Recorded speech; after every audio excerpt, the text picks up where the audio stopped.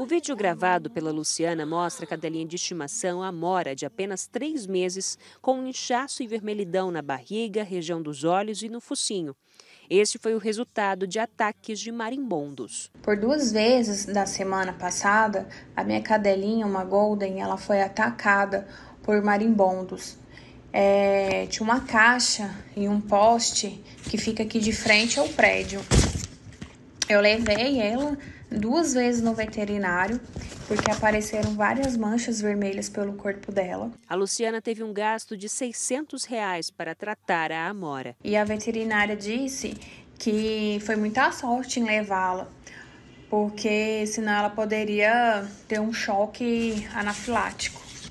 Graças a Deus, nada aconteceu com ela. O caso aconteceu no setor Bueno. A cadelinha brincava na sacada do apartamento, local onde os insetos foram encontrados mortos depois do ataque. O problema já acontece desde 2021. Segundo o zelador do prédio, os moradores até se reuniram para fazer um abaixo-assinado para solicitar uma resposta. Mas a solução só veio depois do ataque da Amora. Os bombeiros acionaram a Equatorial, que foi muito solícita. Eles também mandaram uma equipe para ver a situação.